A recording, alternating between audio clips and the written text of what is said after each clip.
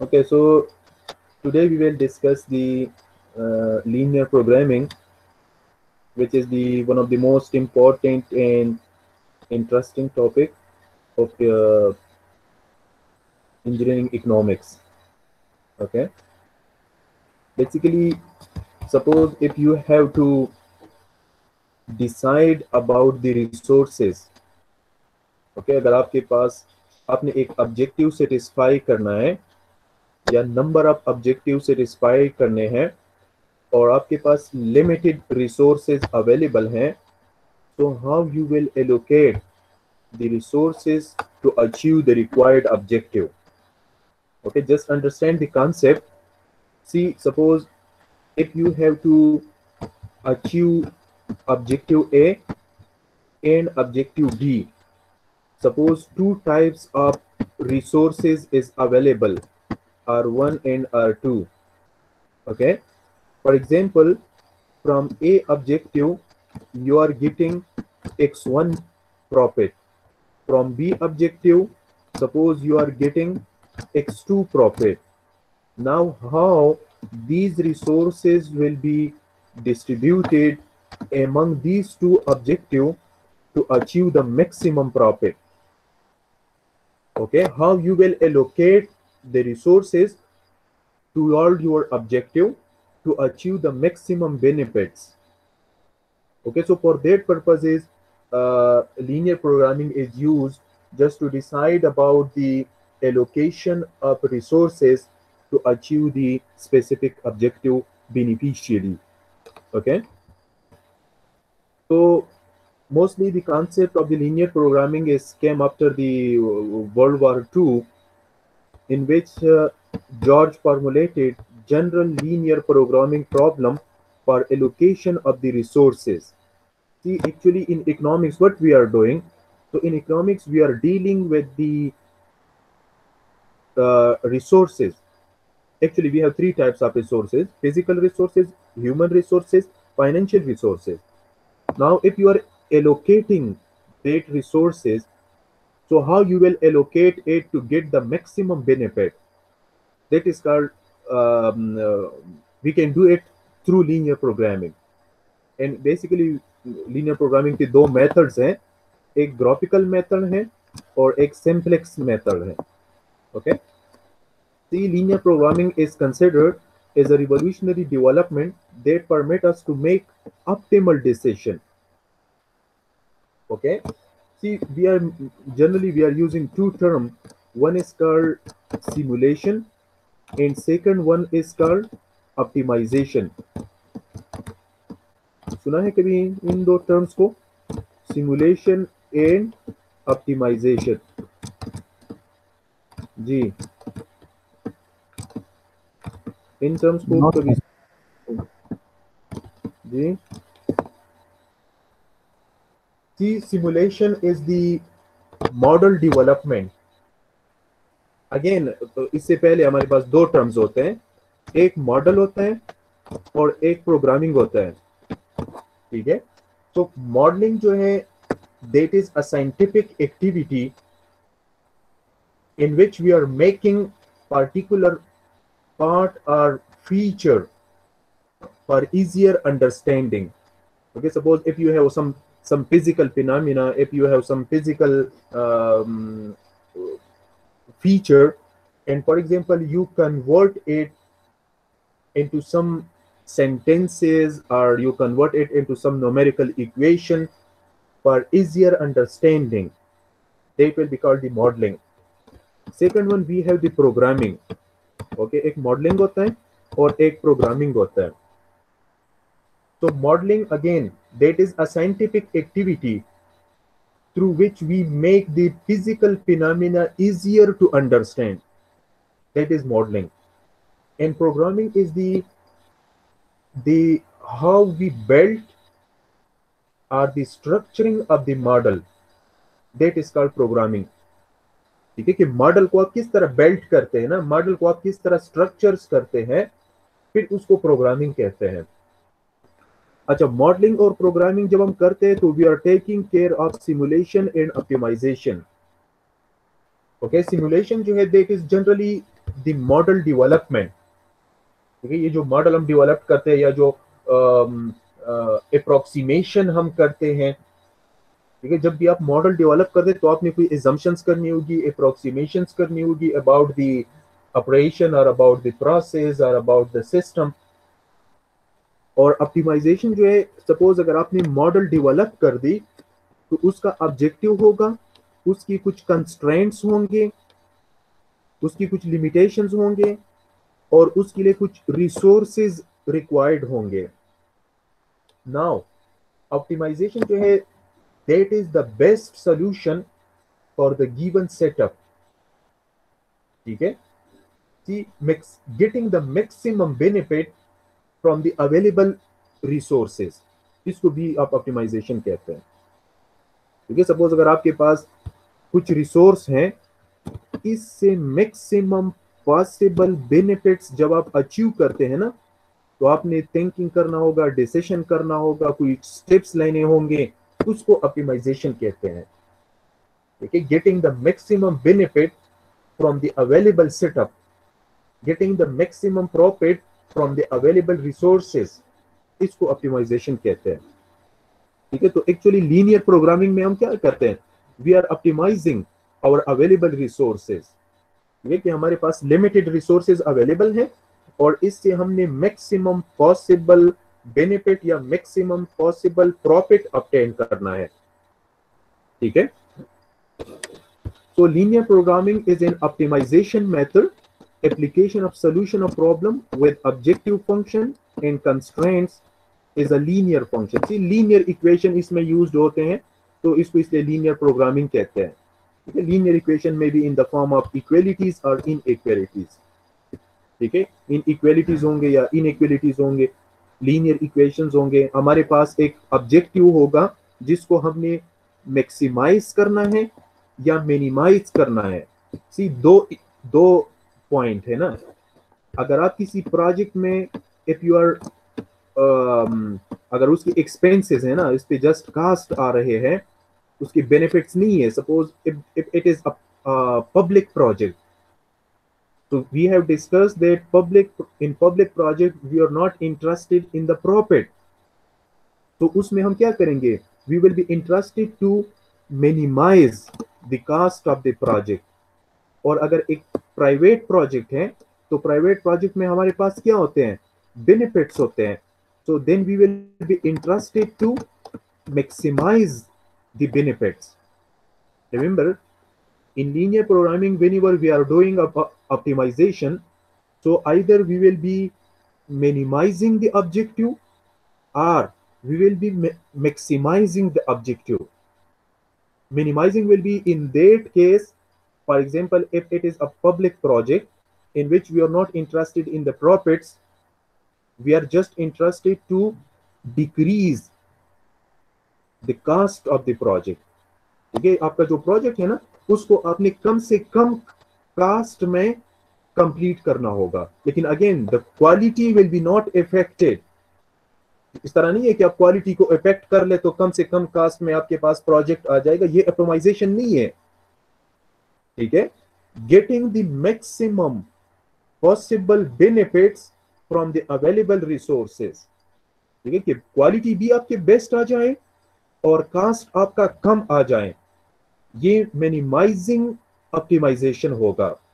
और दूसरी साइड पे suppose if you are getting the profits or benefits or for example if the project is a private project we are uh, interested to achieve the maximum benefit from the project then it will be maximization ठीक है तो optimization में दो terms होंगे minimization and maximization या we have to minimize the cost of the project or we have to get the maximum benefit from the project okay so in optimization we are interested yeah we are dealing with the maximization and minimization of an objective function similarly there will be some constraint ठीक है? अगर resources limited available है. तो you can not go beyond available resources आपने उन्हीं resources को utilise करना है। ठीक है? So that will be the most widely use method है ये. That is suitable for problem in which it is desire to allocate summers resources among the various activities in an optimal manner Okay, so that is just the definition of the linear programming in which we have to allocate the resources among different activities in an optimal manner. Optimal manner mean to get the maximum benefit from the available setup to get the best solution for the given setup. ठीक है तो अगर आपके पास resource available है और आपने different activity perform करना है तो उन रिसोर्सेस को आप एमंग द एक्टिविटी किस तरह डिवाइड करेंगे कि आपके पास जो है ऑप्टिमल सोल्यूशन आ जाए ऑप्टिमल रिज़ल्ट आ जाए मैक्सिमम बेनिफिट आ जाए। ठीक है, इसको लीनियर प्रोग्रामिंग कहते हैं। तो best characteristics of linear programming model is objective function ये मीन जो चीज आपने the thing which you have to maximize और मिनिमाइज ठीक है that will be a linear function of the decision variables. Decision variable again that will be resources that you have to utilize that resources to maximize or minimize your objective. Okay, and also there will be constraint because if some limited amount of resources is available, then it will be your constraint because you cannot go beyond that availability. उससे ज़्यादा तो available नहीं है तो आप उसको utilise नहीं कर सकते फिर ठीक है जस्ट कंसेप्ट क्लियर हो गया लीनियर प्रोग्रामिंग का कि इसमें हम क्या करते हैं हुँ?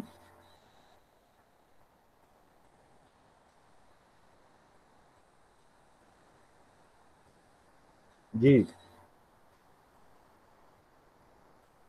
Is it clear what is linear programming response तो क्या करे ना। यस सर क्लियर हो गया सर अच्छा linear programming again just in one sentence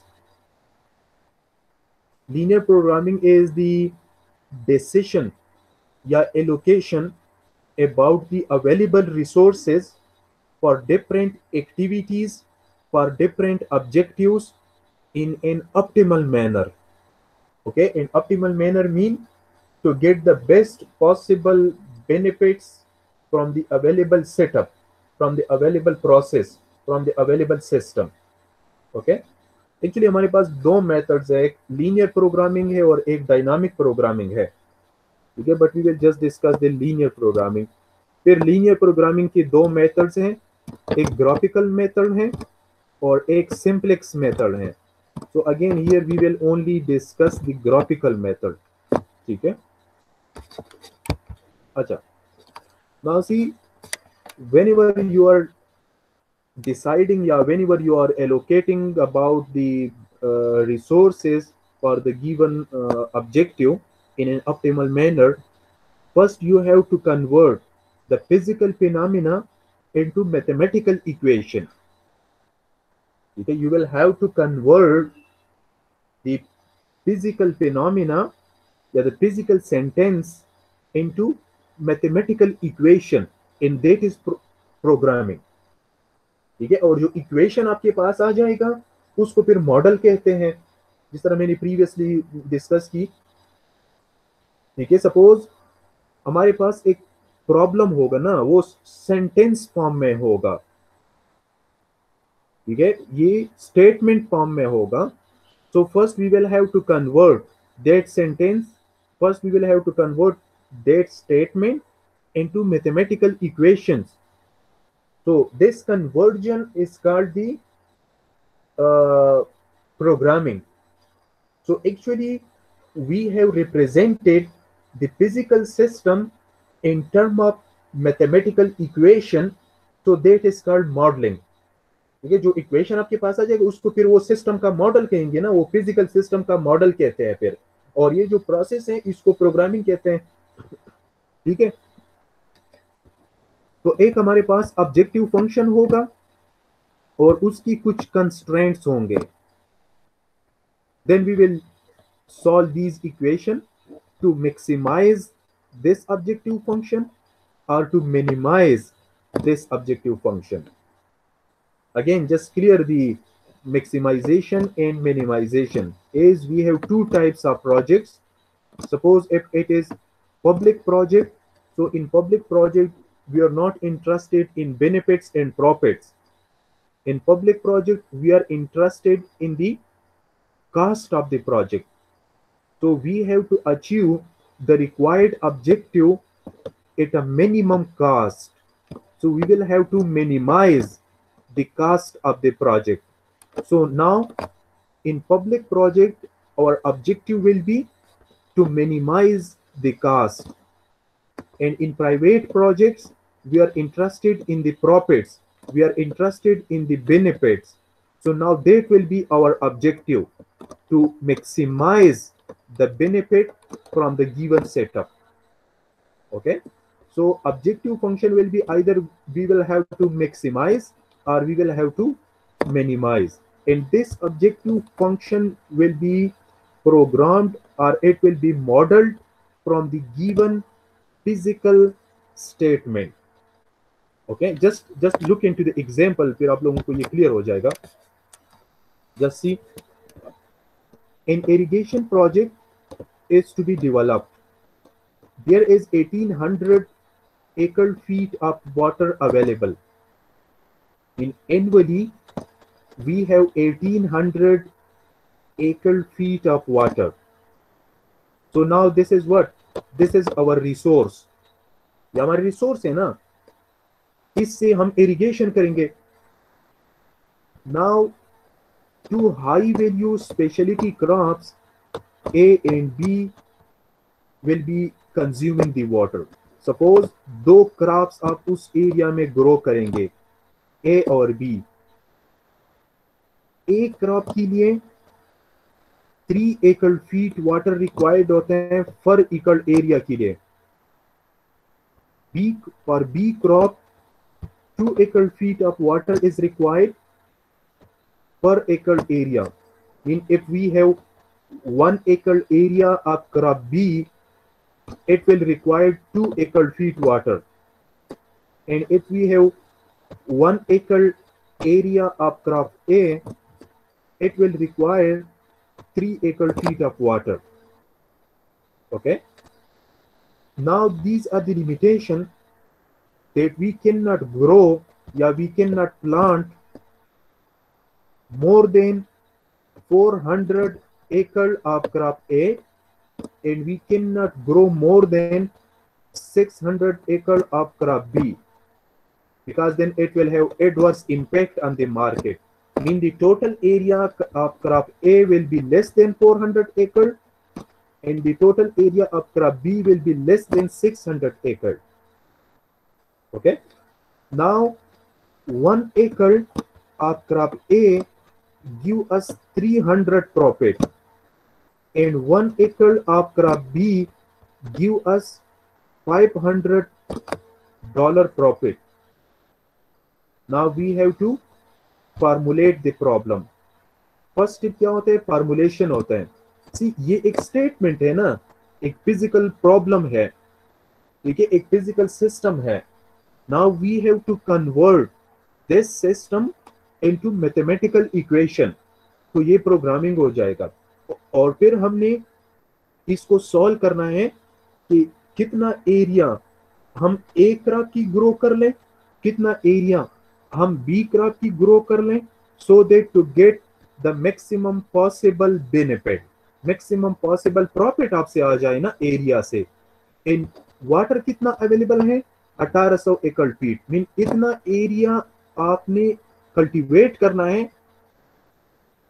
कि ये वाटर उनके लिए सफिशिएंट हो। ठीक है? या ये वा, ये वाटर आपने यूटिलाइज करने में ना इससे ज़्यादा वाटर तो अवेलेबल नहीं है। ठीक है? तो फ़र्स्ट आप लोग बताएँ कि ये ऑब्जेक्टिव जो है ये मैक्सिमाइजेशन वाला है या मिनिमाइजेशन वाला है? जी। सर मैक्सिमाइजेशन वाला है maximization we have to get the maximum benefit from this available resource ठीक है अब देखें ऑब्जेक्टिव फ़ंक्शन हमने फाइंड करना है फ़र्स्ट ठीक है सी if we plant x1 area of crop A and x2 area crop B. Actually, we have to find out this x1 and x2 कि A क्रॉप का हम कितना एरिया प्लांट कर लें और B क्रॉप का हम कितना एरिया प्लांट कर लें कि हमारे पास प्रॉफिट मैक्सिमम आ जाए और ये वाटर यूटिलाइज हो जाए now see if we plant x1 area of crop a and x2 area of crop b then see the total profit will be 300 that is the profit from one acre. So how much will be the profit from x1 acre of crop a? Plus 500 is the uh, profit from one acre of crop B. So this will be the total profit from crop B. And see, this is our objective function. We have to get the maximum value of Z. समझ आ रहा है ये आपका objective function होगा is it clear जी Yes, sir. That is the objective function ये formulation है ये हमने प्रोग्रामिंग कर दी। स्टेटमेंट को हमने कन्वर्ट कर दी मैथमेटिकल इक्वेशन में। And this is a linear equation ये लीनियर इक्वेशन है ना? क्वाड्रेटिक इक्वेशन नहीं है या कोई और फॉर्म ऑफ़ इक्वेशन नहीं है। Just we have assumed that suppose if we plant x1 area of a crop and x2 area of crop b, then the total profit will be equal to this one नाउ हमने इस equation को इस तरह solve करना है कि हमारे पास z की मैक्सिमम वैल्यू आ जाए। अच्छा अब देखिए कंस्ट्रेंट को। X1 जो है, that will be less than or equal to 400 problem में गिवन है ना कि एक क्रॉप का एरिया जो है, ये आप 400 से ज़्यादा प्लांट नहीं कर सकते। So x1 must be greater than or less than 400. Okay. Similarly, x2 will be less than or equal to 600. This is another constraint.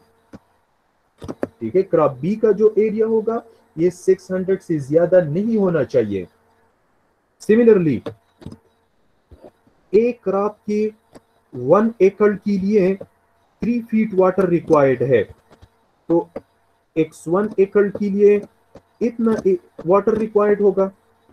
Similarly crop B के वन एकड़ के लिए टू यूनिट वाटर रिक्वायर्ड है तो इतने area के लिए इतना वाटर रिक्वायर्ड होगा। नाउ देखें टोटल वाटर रिक्वायरमेंट ये हो गया ना। Three x one plus two x two that will be equal to 1800 because 1800 resource हमारे पास अवेलेबल है ना। इससे ज़्यादा तो हमारे पास वाटर ही नहीं है तो फिर हम ज़्यादा एरिया ग्रो नहीं कर सकते फिर वाटर अवेलेबल नहीं होंगे। ठीक है? तो आप देखिए ये फ़र्स्ट इक्वेशन जो है that is the objective function which we have to maximize बाकी ये जो तीन इक्वेशन है x1 is less than or equal to 400 x2 is less than or equal to 600 3x1 plus 2x2 is equal to 1800 these are called the constraint अब देखें general form में linear programming जो है that is the first you will have the objective function which you have to maximize or minimize you will have some constraints okay and see the input data include all constraints and the amount of the resources. ठीक है कि कितना resource आपके पास available है और one unit के लिए कितना एजुकेशन है। ठीक है सो टोटल रिसोर्स यूटिलाइजेशन जो है that will be equal to the available resources थोड़ा सा क्लियर हो गया ऑब्जेक्टिव फ़ंक्शन एंड कंस्ट्रेंट ठीक है so first you will have to carefully study the statement. Then you will have to convert that physical process into mathematical equation. और फिर उन equation को हमने इस तरह सॉल्व करना है कि आपके पास इस z की मैक्सिमम वैल्यू आ जाए under the given constraint that will be the linear programming ठीक है? क्लियर है? फ़र्स्ट कॉन्सेप्ट क्लियर हो जाए, फिर हम प्रॉब्लम कर लेंगे तो आपको क्लियर हो जाएगा फिर, इंशाल्लाह। अच्छा। एक और, देखिए, सपोज़ हमारे पास अगर रिजर्वायर है, एक रिजर्वायर से suppose this much amount is release in a canal या एक रिवर में आप इतना अमाउंट रिलीज़ कर रहे हैं,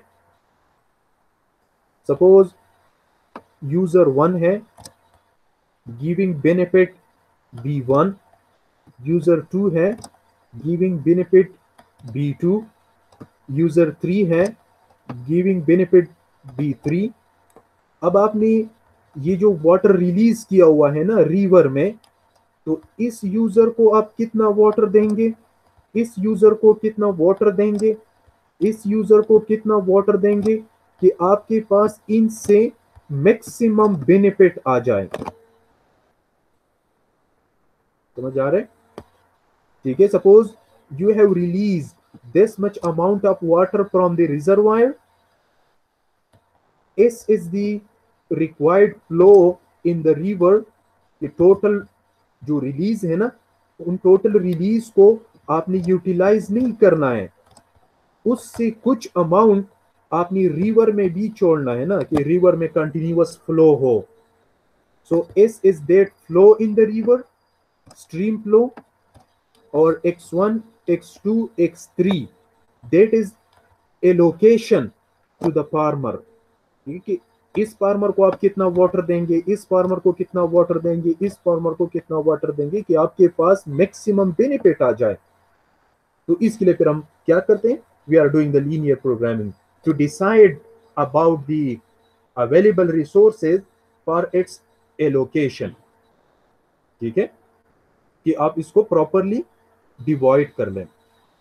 तो आप देखें ना if you are giving x1 to user 1 x2 to to user 2 x3 to user three and s is the stream flow then that will be the constraint that the total allocation to the farmer plus the stream flow must be equal to the amount which is release from the reservoir तो ये आपका constraint होगा। ठीक है? और आप देखें suppose अगर इस यूज़र वन से बी वन बेनिफिट आ रहे हैं तो इसको अगर आपने एक्स वन वाटर रिलीज़ कर दी सिमिलरली ये दूसरा यूज़र जो है, इससे बी टू बेनिफिट्स आ रहे हैं। सिमिलरली थर्ड यूज़र से बी थ्री बेनिफिट्स आ रहे हैं। और इतना वाटर आप उनको रिलीज़ कर लें तो टोटल बेनिफिट्स कितने आएँगे? We have to maximize this thing तो ये ऑब्जेक्टिव फंक्शन होगा ठीक है So as we have discussed that programming refers to the mathematical programming. So in this context, it refers to the planning process. Okay, it is actually about the planning. It is actually about the decision to allocate the resources. And that resources will be human resources, physical resources, or financial resources. Okay, simply you can say that that is the mathematical programming in which we are planning in which we are deciding about the resources in best possible way to get the maximum benefit yeah okay or to get the yeah to minimize the cost or to maximize the profits okay so linear programming is uh, these resources are known as the decision variables ठीक है जो जो resource available है ना you will have to decide about that resources that is called the decision variables okay and the criteria for selecting the best value of decision variable that is called the objective function ठीक है? ये जो limitations होते हैं resources की, उनको constraints कहते हैं। ठीक है? ये तीन टर्म्स माइंड में रखे objective function constraints and decision variables ठीक है कि किन चीज़ों के बारे में आपने डिसाइड करना है। आपने मैक्सिमाइज करना है या मिनिमाइज करना है। ठीक है? So formulation of the problem that is actually translating the real world into mathematical equation okay you will have some statement you will have some physical process first you will have to convert it into mathematical equation so that will represent objective function and it will represent the constraint set as we have discussed in the previous example कि हमारे पास एक objective function आ गया और तीन हमारे पास जो थे that was the constraints तो उनको कंस्ट्रेंट सेट्स कहते हैं ओके सो फ़र्स्ट स्टेप क्या है that is the formulation of the problem it means that to convert the real world system into mathematical equation okay then we have the problem formulation identify the decision variable write the objective function write the constraint and also write the non-negativity restriction for example जो previous example हमने की ना कि suppose A crop का हम x1 area grow करेंगे और B crop का x2 एरिया ग्रो करेंगे। एंड आल्सो इनकी रिस्ट्रिक्शंस uh, क्या आते हैं कि x1 will be less than और equal to 400 x2 will be less than और इक्वल टू 600 और हम ये भी कह सकते हैं ना कि x1 will not be less than 0 similarly x2 will not be less than 0 negative area तो नहीं हो सकता ना ग्रोइंग का। तो इसको नॉन निगेटिविटी रेस्ट्रिक्शंस कहते हैं। इन चीज़ों का भी आपने ख्याल रखना है। समझ आ रहा है इसकी? ठीक है ये भी रिस्ट्रिक्शंस में आ रहा है, ये भी कंस्ट्रेंट्स में आ रहा है। That x1 will not be less than 0 x2 will not less than be 0 yeah we can say that x1 must be greater than or equal to 0 and x2 must be greater than or equal to 0 ये non negativity constraint हो गया ना because आप negative area grow नहीं कर सकते कि minus one area आपने ग्रो कर दी ठीक है ये पॉइंट याद रखिए अच्छा इज़ इट क्लियर यहाँ तक अगर कोई क्वेश्चन है तो? क्लियर है? क्लियर है सर अच्छा।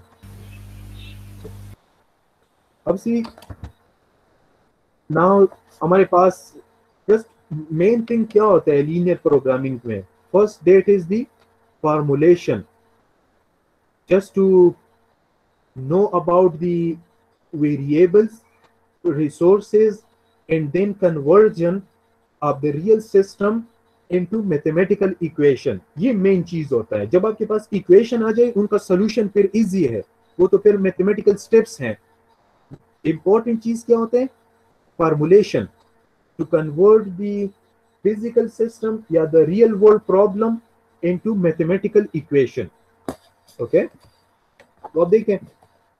सपोज़ एक मैन्युफैक्चरर है स्मॉल मैन्युफैक्चरर हैं and suppose is making two product product A and product B for example two resources are required for manufacturing these products okay and suppose one unit of A product require one unit of resources one and 3 unit of resources 2 similarly, each unit, अगर आप B product का एक unit manufacture कर रहे हैं ना तो R one resource से वन यूनिट यूटिलाइज होगा और आर टू रिसोर्स से टू यूनिट यूटिलाइज होंगे.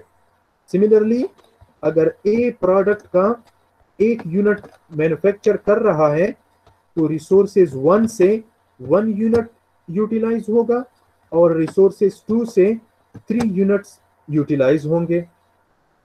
ठीक है? नाउ मैन्युफैक्चरर के साथ आर वन के मीन रिसोर्सेज वन के फाइव यूनिट्स अवेलेबल है और रिसोर्सेज टू के ट्वेल्व यूनिट्स अवेलेबल है। Now the manufacturer A product से सिक्स डॉलर प्रॉफिट जो है वो अचीव करता है। और बी प्रोडक्ट से फाइव डॉलर प्रॉफिट जो है वो अचीव करता है। Now the question is how much unit of A product will be manufactured and how much unit of B product will be manufactured to get the maximum profit question understand हो गया आप लोगों को? Again that is maximization to get the maximum benefit from the available resources. Is it clear?